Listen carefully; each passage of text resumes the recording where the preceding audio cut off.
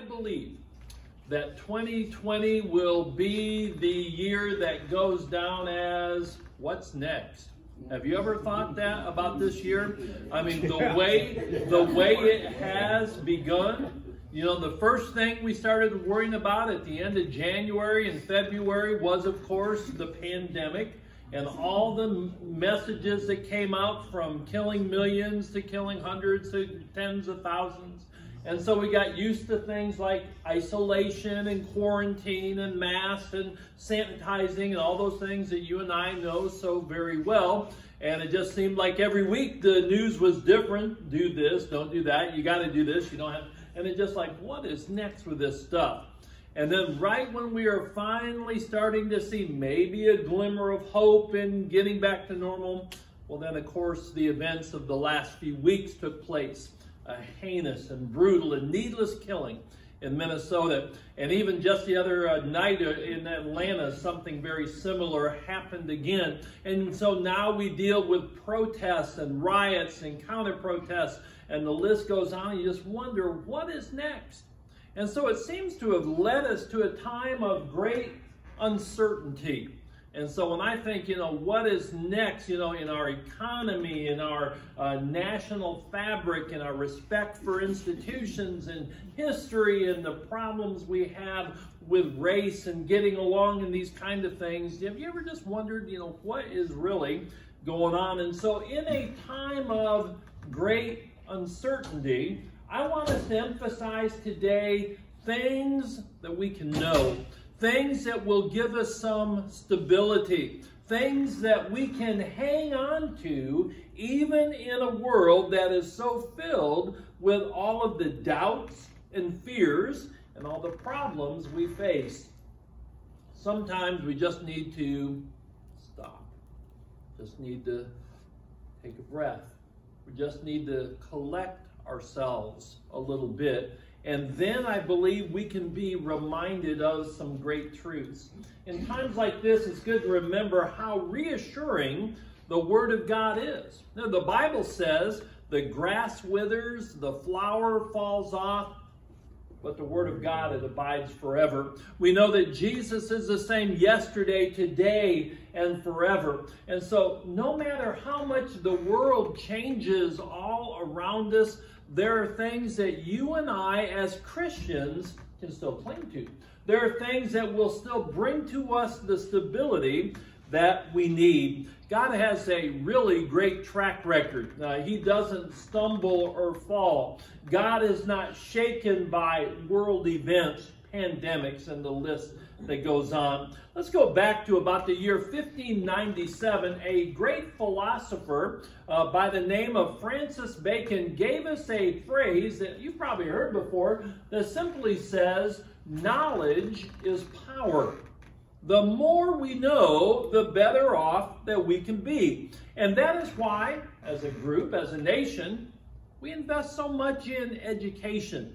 We see the value of training children through kindergarten and elementary, middle school, high school, and then we encourage them to at least think about maybe a trade school, maybe college, whatever it might be. And we know that when we have knowledge, it just gives us a little bit more foundation. It calms us. It gives us assurance. It offers some hope in a world that doesn't really give that much hope.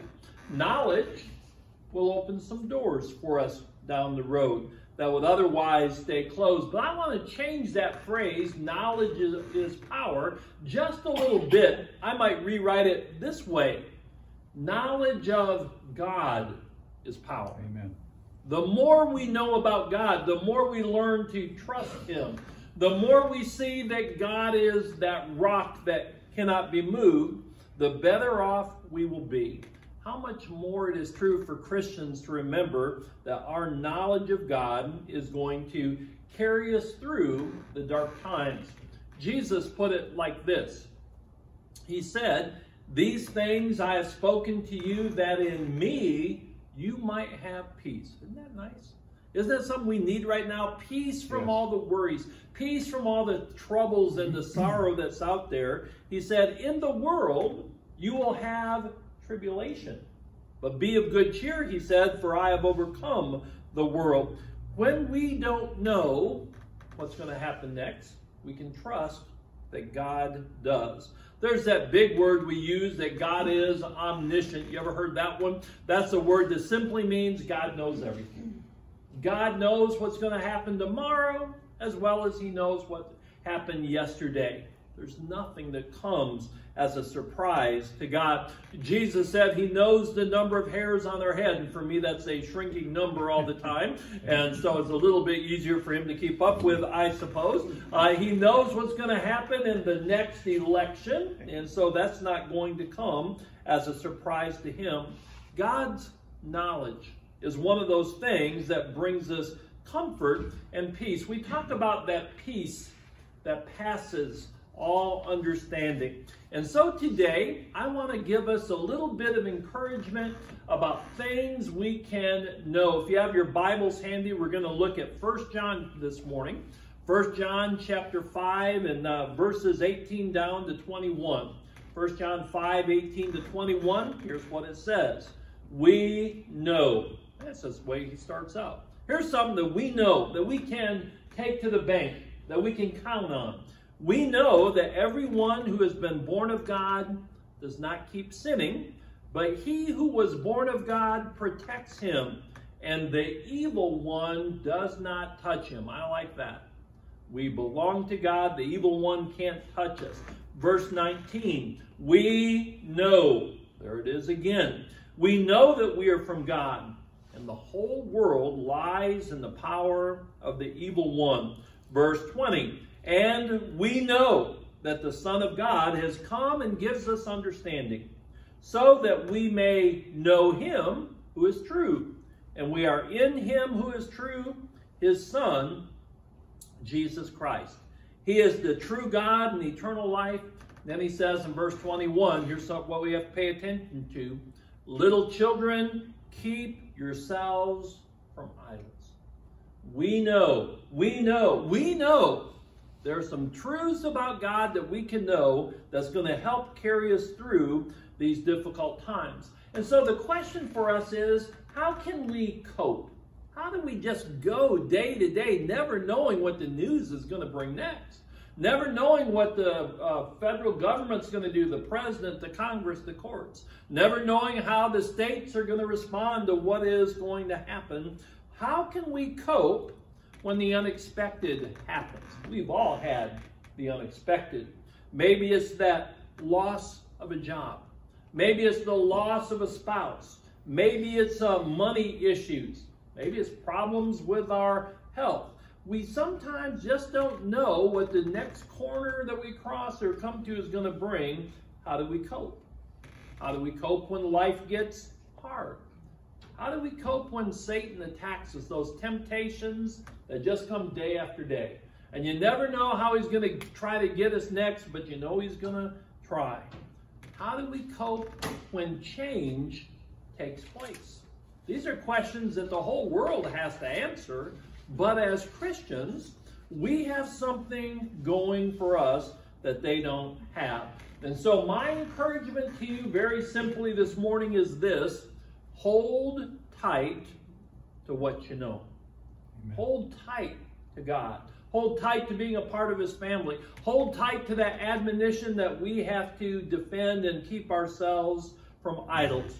Now more than ever, I would say that we all need God. We all need God in our family. We need that strong, cohesive unit that He will keep us together in these rough and uncertain times. We need to have that relationship with a church, a fellowship of believers who are there to encourage us when we might just want to give up, who is there to be strong when we're really facing some difficulties in our life. In other words, we need to trust Him. And so this morning, I want to just bring to us, I think, three lessons that come right from our text today about things that we know. Number one, John says we've been born of God. Isn't it good to know that we're part of the family of God? Remember when Bill Gaither wrote that song so many years ago that says, I'm so glad I'm a part of the family of God, joint heirs with Jesus. And so being a part of a family is so necessary. Being a part of God's family is even better. We both, we belong to him as a part of his family. That why, that's why we can call him our Heavenly Father. That's why we can call one another our brothers and our sisters, being a part of the family of God. We've experienced that new birth. Isn't that what Romans chapter 6 tells us about? We've been raised to walk in newness of life.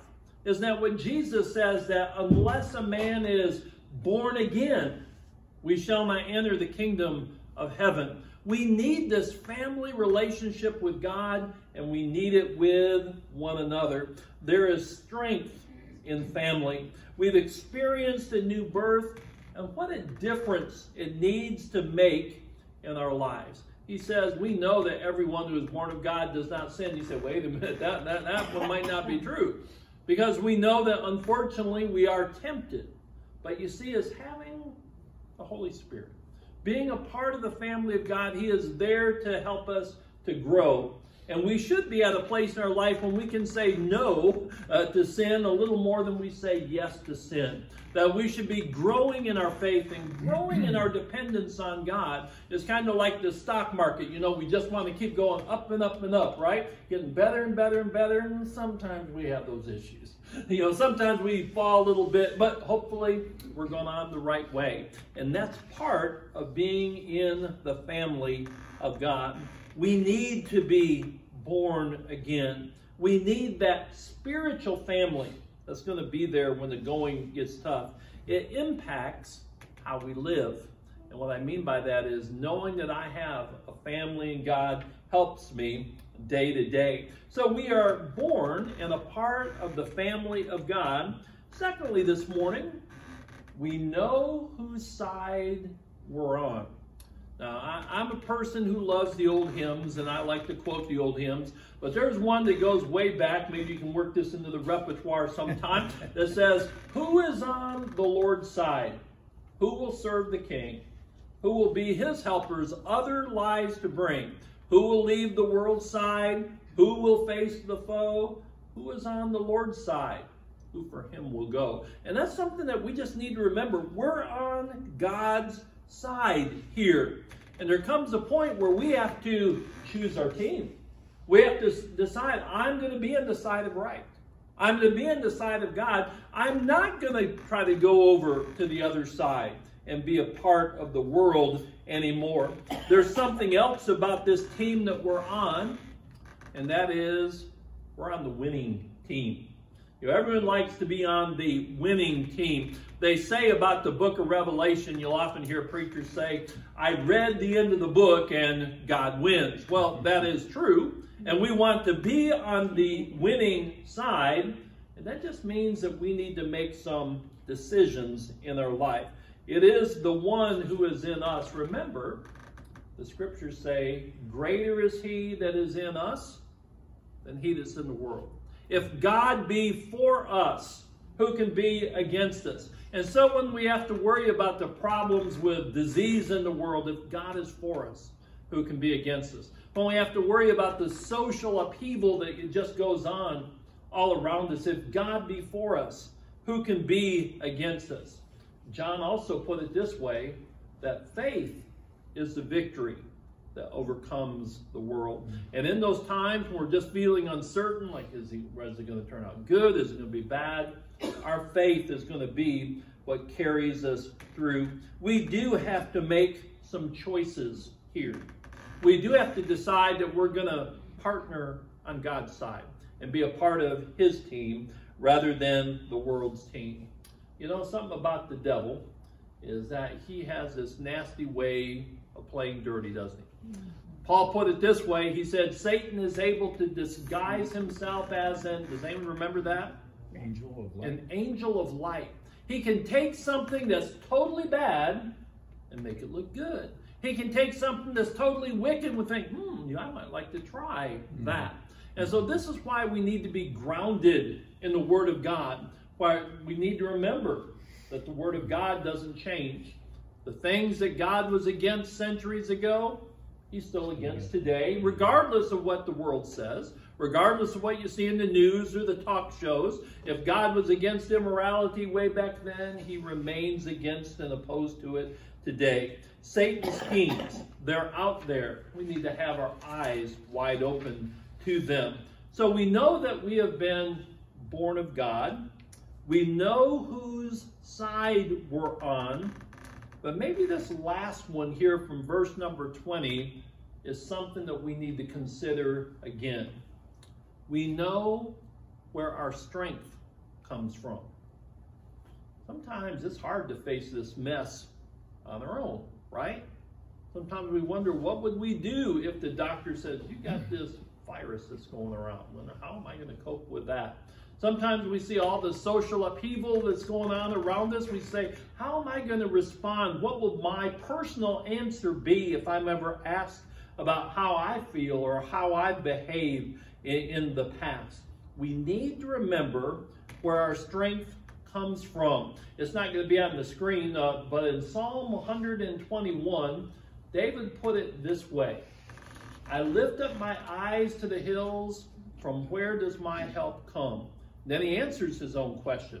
My help comes from the Lord who made the heavens and the earth.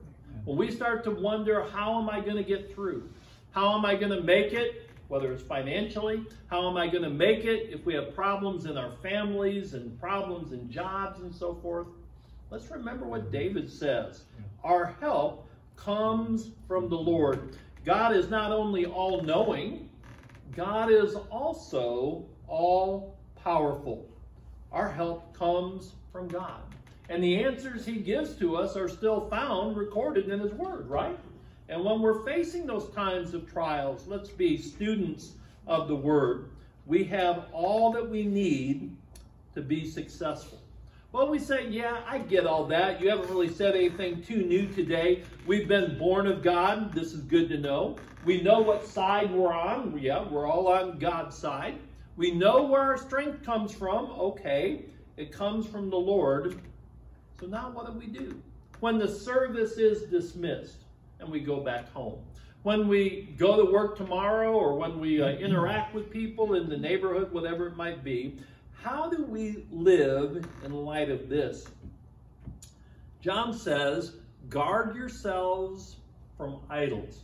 You say, well, that sounds kind of like Bible times. We don't have shrines to, you know, crazy idols today. But what if we really did? What if we really uh, understood that things that detract our attention from God can be an idol? when we like sports and that kind of stuff more than we care about God, sports has become an idol. When we care more about making money than we do about our relationship with God, this has become an idol. When we care more about entertainment than we do about a relationship with God, that too has become an idol. There may not be people who are worshiping in a church today, but there are people worshiping at the mall if they're open, worshiping at the department store if it's open, or worshiping on Amazon.com because that's always open, Hold right? There, and, and, so oh, the, the idea is things and stuff and money can become an idol to us. In the Old Testament, they put it this way Exodus 20. Thou shalt have, remember the thou shalts? Yes. No other God before me. No graven image. Idols will do us harm. Make sure it's God first and not the Amen. things of the world. In, earlier in First John, he says, uh, talked about stop loving the world and the things in the world. He talked about the lust of the flesh. Y'all know what that is, right? He talked about the lust of the eyes. And then he talked about the boastful pride of life. He said, stop loving these things. So there are things that we can know, but I want to end with one other thing that we can know today. And whenever I think about this verse I'm about to share, it reminds me of a man back in Virginia uh, that, that I've come to know and love. And, and he's one of those guys, you, you, uh, the old word was curmudgeon. Uh, he's kind of a cranky old guy, but for some reason he took a liking to me. And uh, he's, he's just one of those guys, if you saw him, you'd think he was homeless. I mean, he, he just dressed just his hair was always a mess. He looked like he needed to shave. Years of chewing tobacco, I think, had left him uh, one tooth in his mouth. And you think, you know, th- this guy is just, you know, really, you know, really poor. The guy's the guy's filthy rich. the, guy has a ton of money. Uh, there's another story for another day about that. But he, he is a master builder. I mean, he has built homes you'd like this over 14,000 square foot that got wrote up in magazines that uh, up on the eastern shore of, uh, uh, of Delaware. And uh, so just, just an amazing guy. And so, but he started coming to the church where I, where I was preaching and, and most of the time he liked what I was saying, but I must have came across something that he just really took an issue with. And that is this. Uh, I, well, maybe it was he went to a funeral and, and, it wasn't one I preached, but someone preached the funeral and he said, This dear departed, he is walking the streets of gold. This dearly departed, he is walking with God. He's up in heaven. Man, that set this guy off. How does he know if he's in heaven? I thought, well, maybe he was a Christian. Maybe like, you don't know what he did when he wasn't at church. And, and boy, he, he, just went off on this kind of thing. And, and his point was basically, you don't really know. And you can't really say, uh, only God is going to get there. And so I tried in a very kind way to remind him of this truth. You can know if you are saved. Now, granted, God is one. If you were here last week, we talked about judgment, didn't we? Yes. Granted, God is the one that's either going to say, Well done, good and faithful servant, or Depart from me, I never knew you. But I want you to go to 1 John chapter 5 and verse 13, and then you can answer this question maybe for yourself. 1 John chapter 5 and verse 13 says, These things I have written to you who believe in the name of the Son of God, in order that you may know. You may know if you have eternal life. Now, I believe it's true. You can fool a lot of people. You're not going to fool God. That's true. A lot of people might think you're the best person that's ever walked the streets, and God might say, No, I don't think so, because, uh, you know, we really don't know what they do all their life. God knows what's in the heart. We need to say that. But let's say that our heart matches our life and that we've done the things that God has asked us to do about putting our faith in Him, about repenting of our sins, about confessing Jesus to be our Lord and our Savior, about having our sins washed away in the waters of Christian baptism and being raised to newness of life, being born again, as He said was a requirement, and being faithful unto death. And so this morning, as you think about things you know, how does that one hit you? Do you know today, without a shadow of a doubt, that if today was your last day on earth, you would indeed go to heaven? The Bible says we can know that. We can have that assurance that if we put Jesus first in our life, if we've done the things he's asked us to do, that we can know without a shadow of a doubt that no matter what happens to us today, we have our eternity to be with him. I pray that you have that kind of confidence. I pray that your faith in God is so strong and your obedience to him has matched that faith and you're walking with him in faith that you can know that if today was your last day, you're going to be with the Lord in heaven. Let's go to God and pray. Heavenly Father, thank you for the confidence that your word gives us. Lord, it's not giving us overconfidence in things that we do ourselves, but rather it's simply trusting in the truth of your word and what Jesus has done for us. Lord, we, we are so thankful that in you we can face the uncertainties of this world. And even though 2020 has been a mess and we don't know what's going to happen in the second part of the year, we know that with you, it's going to be okay. And with you, you're going to see us through it. And because we love you, your word tells us that all things work together for good for those that love God and are called according to purpose. I'm thankful for this chance to share here with these believers. I pray that you would bless them. I pray that you would be with those who need to make decisions, that they don't have to live in uncertainty, but that they will live in their faith and certain in you. In Christ's name we pray. Amen.